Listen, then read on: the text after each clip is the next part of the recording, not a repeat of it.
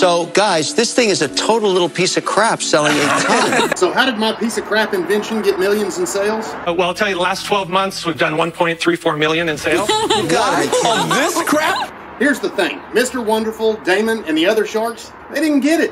Was not expecting that answer. Well, we had an absolute blast on Shark Tank, laughing, and even got an offer from Robert, which we turned down. The sharks couldn't understand why we had millions in sales. So Okay, and what do you far. think you'll Wow. make this year? About 1.65. Damn. But you know who did get it? Rednecks. They understand chilling out in waist high water. They understand wanting to catch a fish anytime, anywhere.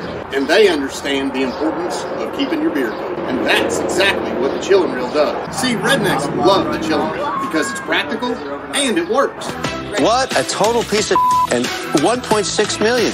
And that's why my piece of crap invention had millions in sales.